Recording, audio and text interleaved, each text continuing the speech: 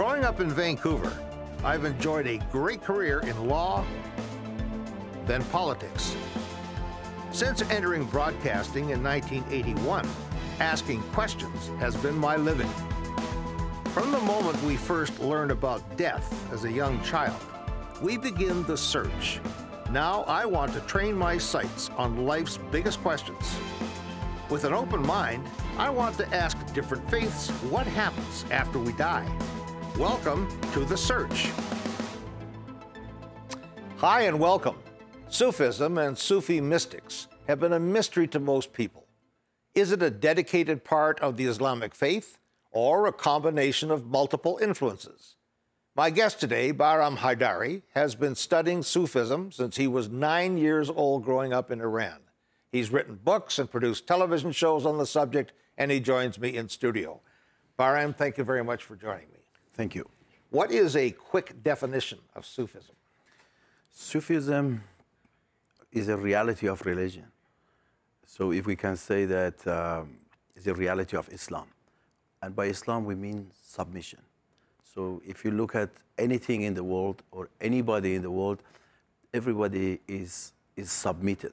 There is nothing that is not, in, uh, in, is not submitted to the will of God.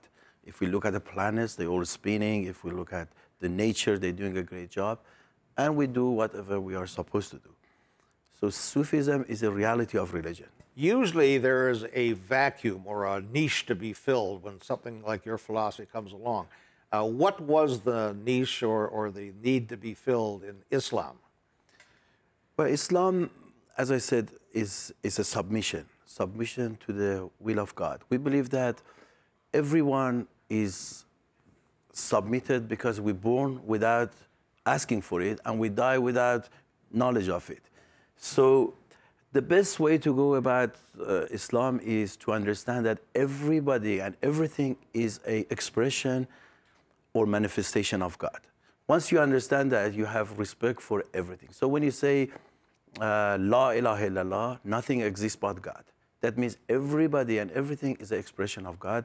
And once you are in that position, you know you cannot insult anybody or you cannot be ungrateful to whatever happens. Now, uh, Bahram, I'd like to give you a couple of quotes that I picked up when I was looking at this. Uh, one from Sheikh Ahmad Zarruq, and he said Sufism is a science whose objective is the reparation of the heart and turning it away from all else but God. Sheikh Ahmad ibn Ajiba says it is a science through which one can know how to travel into the presence of the divine, purify one's inner self from filth, and beautify it with a variety of praiseworthy traits. Now, that sounds good, but I'm not sure I quite understand what it means. Do I actually get into the presence of God? Do I see Him, feel Him, touch Him, hear Him? Yes, uh, we understand that there is a past and there's a future, but these are all only earthly concepts. Whatever happens, it happens in a presence, what they call hal. So we understand that if we get above our material understanding, we can always be in the presence of God. And that is where uh, we can see the reality and we can have respect for it. Our understanding is uh, once you die, you will be in that position. Your eye will, be, will open to that reality. So the best thing to do through your practice and your deed, if you can come to that understanding while you're alive. Uh, so we, you hear lots of concepts, for example, shaheed or martyrdom in Islam. is a bad translation. We don't have martyrdom. Shaheed comes from uh, seeing, from witnessing.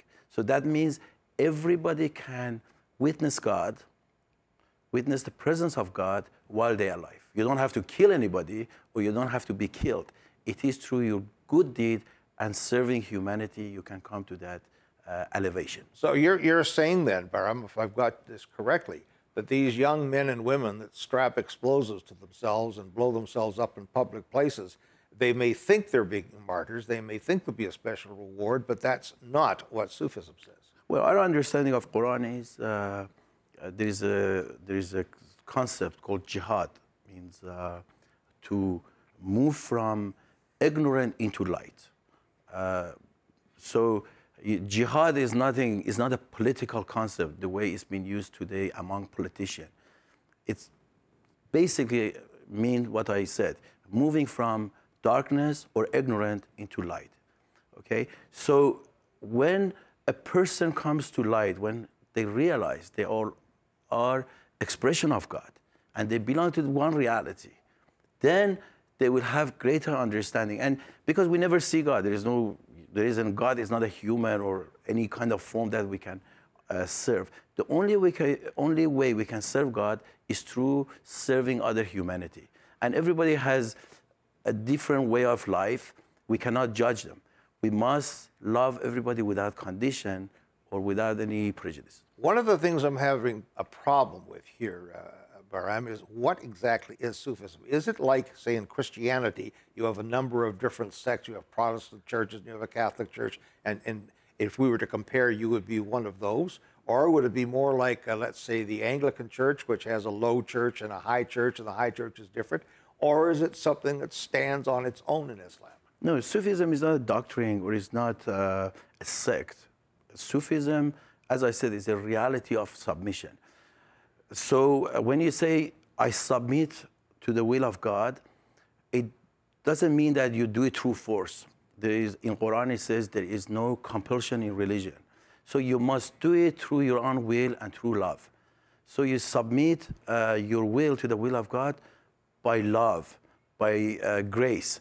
If we understand the three great religions that came from East, uh, Judaism, Christianity, and Islam, Judaism stands for law. The law is very simple. They call it Shariat in Islam. Is that we should respect and we should be grateful to the other human beings. Or we, we should, in today's term, we can say we should respect every individual's democratic right. That is Shariat, right? So if I steal for, from you, I am actually denying you of your right. That is the meaning of the law. Now, in order for the law to be practiced, you cannot force people. It must happen through grace. And that's where Jesus Christ comes into it. Christianity comes into it. Before Christ, everything happened through force. Now, with coming of Jesus, he says, no, this, is, this must happen through your grace. So in Islamic understanding, so Moses stands for the law. Jesus comes for the grace, vehicle of love from, to take you from where you are to the presence of God. Now, then Prophet Muhammad comes. He brings knowledge. He says, look, there is law, there is grace, but you must gain knowledge.